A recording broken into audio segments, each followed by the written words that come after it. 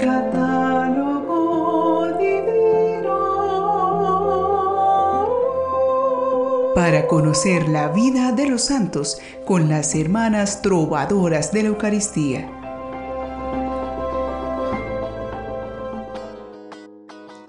Bienvenidos una vez más a saborear un poquito del cielo a través de las grandes aventuras de los santos. Si Dios está en el cielo, cada vez que estamos dentro de nuestros corazones, nuestro interior es un cielo pequeñito. Por ello los santos llevaban a Dios junto a ellos en cada una de sus aventuras y en medio de los momentos duros y agradables, el Señor dejaba esparcir su fragancia de paz. Para llenarnos de esa dulce presencia, pidamos a los santos que se veneran hoy en nuestra iglesia que nos alcancen esta gracia. Los bienaventurados recordados hoy 24 de marzo son Santa Catalina de Suecia, Virgen, San Macartemio, Obispo, San Secúndulo de Mauritania, Mártir, San Severo de Catania, Obispo.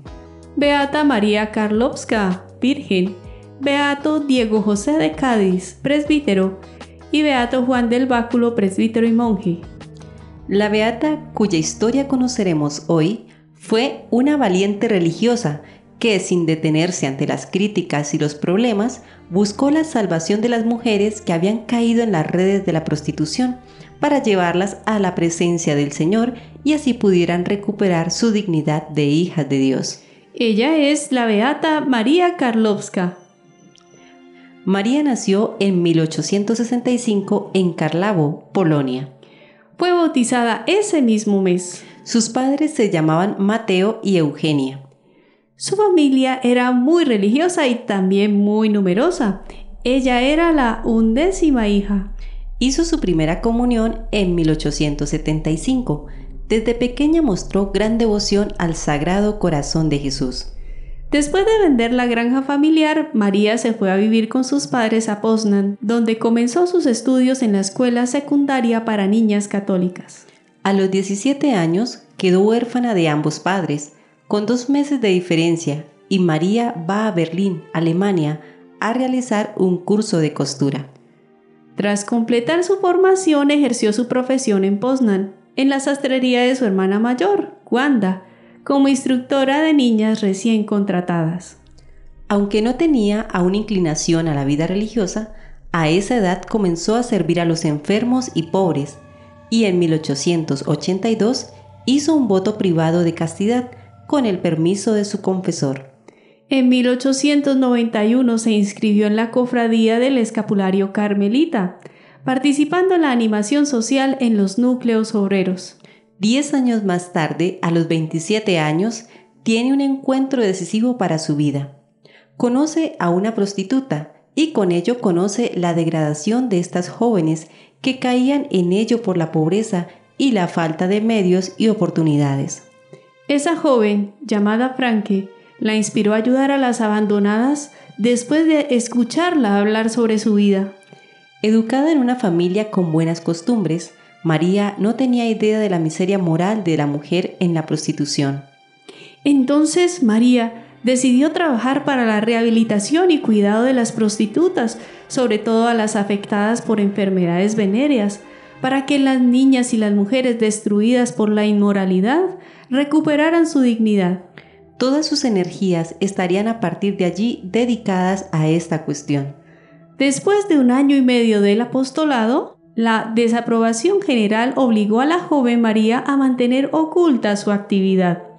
Rechazada incluso por familiares, que consideraban deshonrosa su preocupación por las prostitutas, el 19 de marzo de 1894 abrió la llamada Casa del Buen Pastor en Poznan para reunir a las niñas y formarlas para la vida.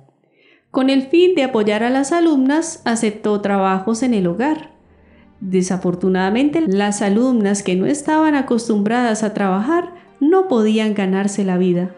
Incluso en esta situación, su total confianza en la divina providencia no la defraudó.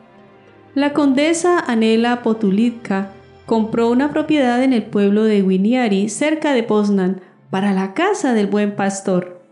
Después de que el instituto se trasladara allí en 1895, María trató de vincular su obra a la protección de congregaciones que ya trabajaban por la rehabilitación de prostitutas durante algún tiempo, pero sin resultados.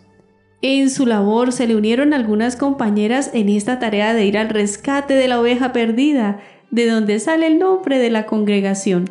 Con ellas fundó la congregación de las Pastorcitas de la Divina Providencia, el 8 de septiembre de 1896, y ella, como muchas otras, hizo su profesión solemne en 1902, tomando el nombre de María de Jesús crucificado.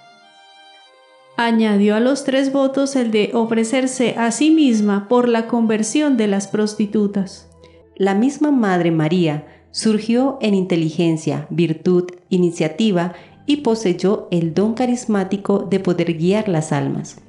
Para lograr este objetivo, María Karlovska, con palabras, escritos y especialmente con su ejemplo de vida, declaró la importancia y la necesidad que todos vivan la virtud de la castidad. Para María, debemos resplandecer a través de la castidad inmaculada. Debemos expresarla con buen carácter, en toda su perfección. Esta virtud debe ser la base de nuestro ministerio el buen pastor debe despertar en ellos el amor a la virtud de la castidad. En el plan de la reeducación, el trabajo ocupaba el primer lugar junto a la catequesis. Primero era necesario romper su prejuicio fundamental contra el trabajo físico y luego descubrir los poderes latentes en cada niña, despertar sus intereses y darles una ocupación adecuada. Estas actividades contaron incluso con la aprobación de las autoridades prusianas. María, como fundadora y superiora, hizo muchos esfuerzos para dar una impronta específica a la nueva congregación. Por eso las hermanas hacían un cuarto voto, el de convertir las almas. Según María Karlovska, la santidad consiste en hacer las cosas ordinarias de manera extraordinaria con cuidado y dedicación. Tal santidad está escondida ante los ojos humanos, presente solo a los ojos de Dios. A sus hermanas les dijo que la santidad es una cadena cuyos anillos se llaman virtudes, y si uno se rompe, se corre el riesgo de perder toda la cadena.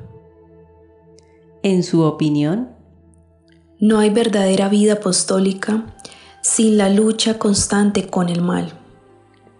Sirvió como superiora desde su fundación hasta su muerte. Recibió la Cruz del Mérito por su trabajo en 1928 con un gran reconocimiento social, pero ninguna ayuda económica. Se calcula que fueron unas 5.000 mujeres las que fueron a lo largo del tiempo acogidas por Madre María Karlovska. Muchas llegaron luego a ser madres de familia, otras permanecieron como religiosas de la misma congregación. Estableció para ella y para sus religiosas la siguiente finalidad. Debemos anunciar el corazón de Jesús, es decir, vivir de Él, y en Él y para Él, de modo que lleguemos a ser semejantes a Él y que Él sea más visible en nuestra vida que nosotras mismas.